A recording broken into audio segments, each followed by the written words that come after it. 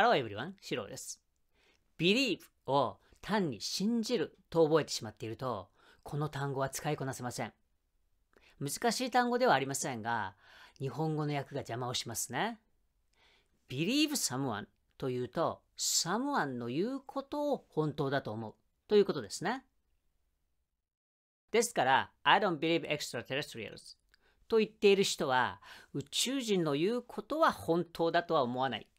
と言ってるんですね。あの、おそらく過去に宇宙人に騙されたか何かしたんでしょうね。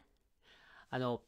あるものの存在を信じる、信じないと言いたいときは、believe in something と言ってください。I don't believe in extraterrestrials あるいは広い宇宙には存在していても地球に来たとは思えないと言いたいのなら I don't think extraterrestrials have ever visited Earth いずれにしても believe の意味間違えないようにしたいですね。弊社ではあなたの英語を単語レベルから改革していくための e ラーニングプログラムを用意しております。